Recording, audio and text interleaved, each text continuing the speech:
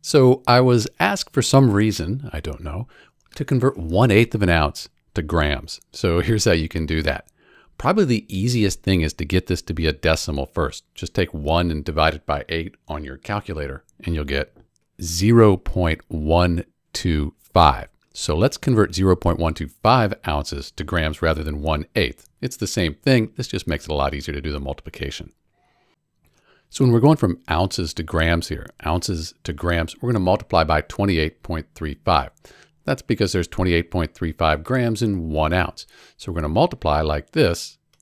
And it's nice because we have ounces on the top and the bottom. They cancel out. We're left with grams. That's what we're looking for. So 0.125 times 28.35 grams, that equals 3.54375.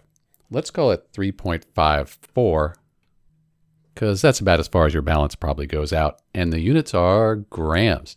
So that's it. That's how you convert one eighth of an ounce to grams. We converted it to the decimal 0.125, which is the same thing as one eighth.